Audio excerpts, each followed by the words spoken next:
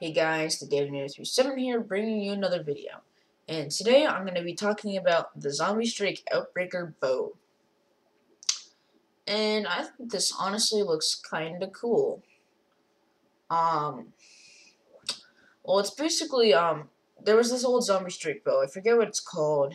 Um, I don't know, they made a fiery version of it too without the bow arms, but it, it's kind of cool.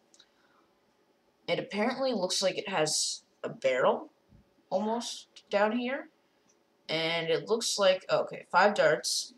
Again, it's like a hammer shot, basically. I don't know what it is, but like this gun and the negotiator look just like hammer shots. I'm not sure why, but like the stock is kind of cool, but it does it seems impractical.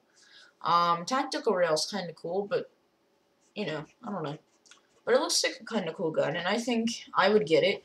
But there's just one thing I hate. This grip is so awful. I can't even tell you how awful this grip is. But, you know, it could be kind of cool. Oops. I don't know. It could be worth it. Um, same zombie strike colors. The stock's cool, but, like, not practical at all.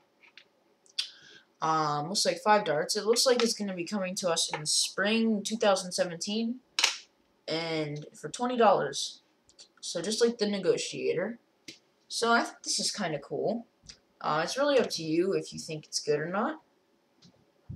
I'm probably going to buy it to review it, but you know. Um, I hope you guys enjoyed. Please like, comment, and subscribe. Thanks for watching.